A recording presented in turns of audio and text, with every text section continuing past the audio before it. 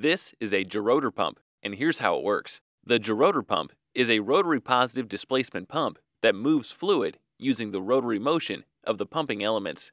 Gerotor pumps are similar in operation to traditional internal gear pumps, but swap the position of the driver and driven gears and do not use a crescent to create the gear offset.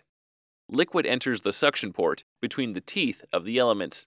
There is a smaller inner driver element and a larger outer driven element. While tooth counts vary, the outer element has one more tooth than the inner element, creating cavities between the teeth.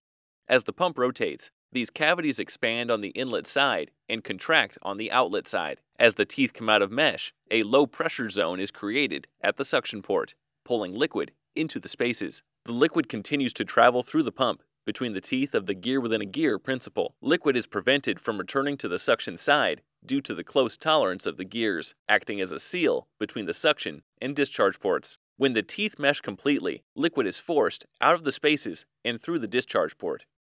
The gerotor pump is efficient, compact, and quiet. The simple design with few moving parts is ideal for a wide variety of applications, including hot cooking oil filtration and automotive applications like fuels, lube oils, and transmission fluids.